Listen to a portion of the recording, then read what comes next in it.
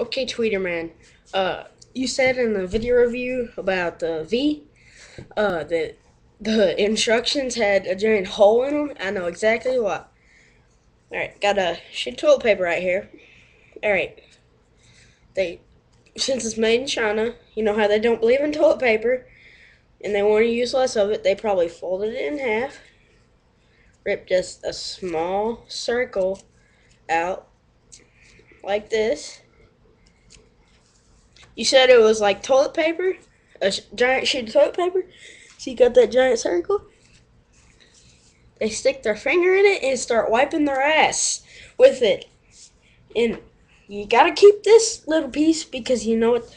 What? And then they take it like this. They just grab it like that.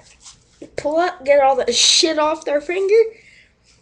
They throw that aside. They take that little piece of toilet paper that they have left over and they clean their out their nail with it. That's why you got that circle in your giant sheet of toilet paper. Answers your questions.